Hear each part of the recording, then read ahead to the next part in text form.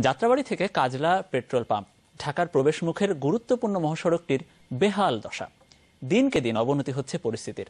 বড় বড় গর্ত, ভাঙাচোরা রাস্তার সাথে বর্ষায় নতুন ভোগান্তি জমে থাকা পানি।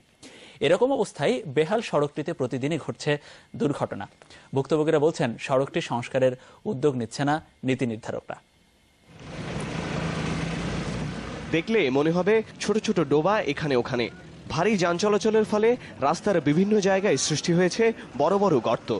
ঢাকা, চট্টগ্রাম, ঢাকা সিলেট মহাসড়কের সংযোগ সড়কটির পাশেই যাত্রাবাড়ি সবজি আড়ত। এতে রাস্তা নোংরা হয়ে বাড়ে ভোগান্তি। খানাখন্দে ভরা রাস্তাটিতে গাড়ি উল্টে যাওয়া বা স্টার্ট বন্ধ হওয়া প্রতিদিনের ঘটনা। দু বছরের বেশি সময় ধরে এই ধরনের ভোগান্তি পোহাচ্ছে চলাচলকারীরা। রাস্তায় যে হ্যাঁ গাড়ি আনন্দ গেলে মনে করেন বন্ধ হয়ে গেছে। উপহান্ত নেই পর্যন্ত এই মহিলা আমি লইছি গাড়িটা।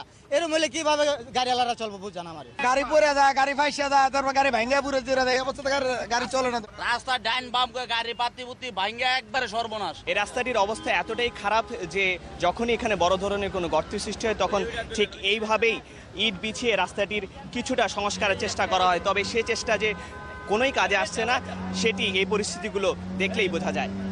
বছরের পর বছর পরিস্থিতি উন্নতি না হওয়ায় ক্ষোভ বাড়ছে সাধারণ মানুষের। তারা চান সিটি কর্পোরেশনের মনোযোগ।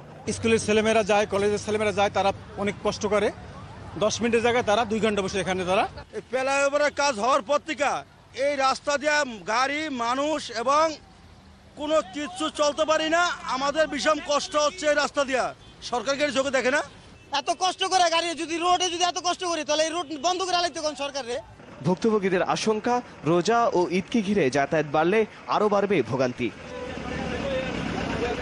ইব্রাহিম খলিল, যমুনা নিউজ, ঢাকা।